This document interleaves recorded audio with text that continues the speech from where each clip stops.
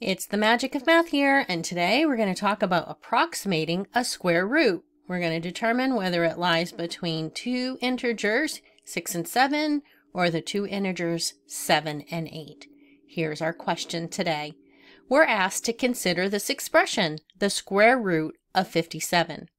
Then we're asked to select from the drop-down menus to correctly complete the statements about the expression.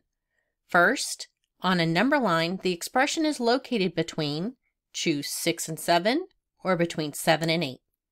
The second statement, the approximate value of the expression is closest to 6, 7, or 8. So here's where you pause the video, you determine the two statements that are correct about the square root of 57. You're going to complete them using these menus.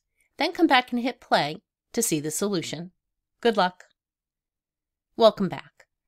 So we're talking about the square root of 57, and the first statement we're going to complete is we want to know if the square root of 57 is located between 6 and 7 or 7 and 8.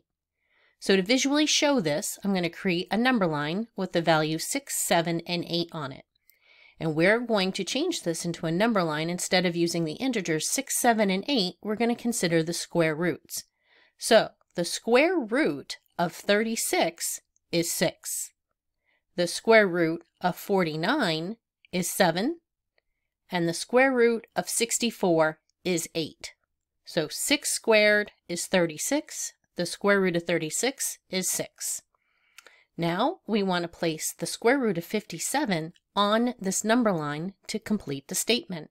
So we can see that the square root of 57 is going to lie between the square root of 49 and the square root of 64, telling us that the square root of 57 is between the two integer values 7 and 8, giving us 7 and 8 as a solution. So on a number line, the expression is located between 7 and 8. Now, the second statement. The approximate value of the expression is closest to 6, 7, or 8.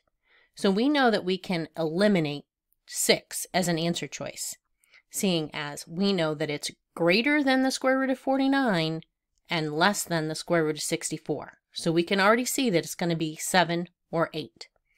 Let's consider how far away the square root of 57 is from the square root of 49. So we know that to go from the square root of 49 to the square root of 57, we have 8 square roots, square root of 50, square root of 51, and so on and so forth. So it's 8 square roots away square root of 57, square root of 58, going to the square root of 64 would be 7. So we can see that the square root of 57 is just a little bit closer to 8 than it is to 7. So we're going to choose 8 as our answer choice here. And that is how you approximate a square root on a number line between two integers and how to determine which one it is closest to. And that is the magic of math, where we master math one video at a time. Thanks for joining me today, and I hope you come back soon.